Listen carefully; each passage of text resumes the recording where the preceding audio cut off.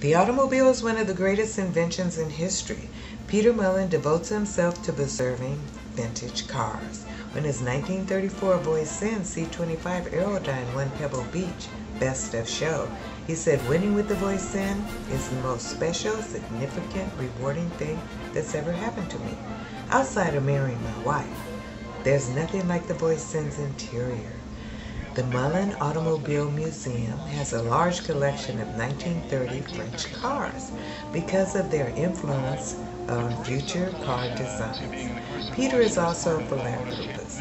He has donated to various organizations, including the Petersen Museum, the Guggenheim, UCLA, and St. John's Health Center in Santa Monica.